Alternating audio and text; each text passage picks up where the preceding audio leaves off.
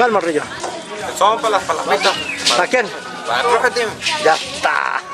A ver si le gusta, ¿eh? Si le gusta.